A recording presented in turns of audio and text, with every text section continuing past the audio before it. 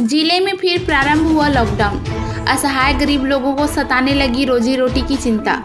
पैर पसार रहे कोरोना वायरस के चैन को तोड़ने के लिए जिला प्रशासन के द्वारा नगर के छोटे छोटे गली मोहल्ले से लेकर बड़े कॉलोनियों में बैरिकेडिंग कर लोगों को घर से बाहर नहीं निकलने की बार बार अपील की जा रही है और सोशल डिस्टेंस का कड़ाई से पालन करने एवं बिना काम के घर से बाहर न जाने की सलाह दी जा रही है।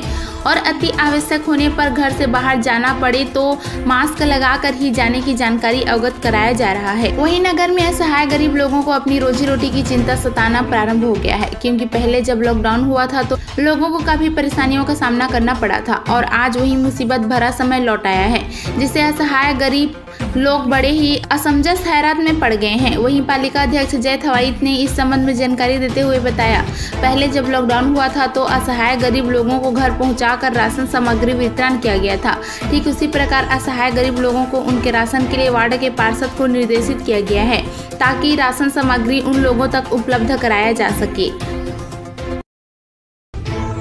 होने वाला है, फिर समस्या पड़ेगी तो फिर उस स्थिति में कैसे करोगे आप? क्या है कि जो पूर्व में लॉकडाउन हुआ था, उसके लिए हमको नगर पालिका से सहयोग, राशन पानी का सुविधा दिया गया था। और अभी जो फिर लॉकडाउन का जारी हुआ है इस समय तो आपको इसमें ये है कि अभी हम नगर पालिका से यही चाहते हैं, हम भाइयों, गरीबों और हमारे लिए नगर पालिका से राशन पानी का सहयोग करने की वो करें। कृपया। क्या है कि हमारा अभी आर्थिक स्थिति अभी भी सही नहीं है और काम धंधा पूरा संपूर्ण से बंद हो गया हमारा।